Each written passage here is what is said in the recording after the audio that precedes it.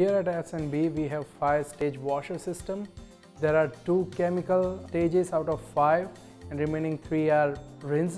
One of the tests that we perform is the water break free test uh, which uh, gives you the cleanliness of the parts that you're gonna paint. So here are the two pieces, one is good piece, one is dirty piece. We're gonna spray some amount of water on the piece and let it flow through. If the water flows through uniformly throughout the whole part, that means it's, it's clean. If the water doesn't flow throughout the part like uniformly and if you see some water droplets sitting on it, that means there is some contamination on the part.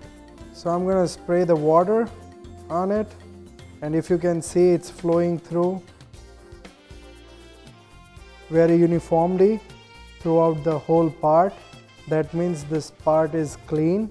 There is no contamination on it. Now I'm going to take a dirty chip and I'm going to spray this water on it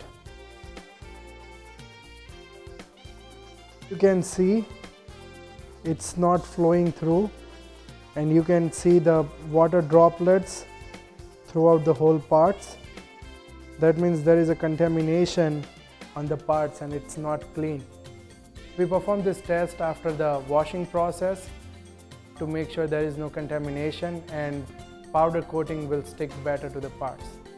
Thank you for watching. Check out some of the other S&B videos.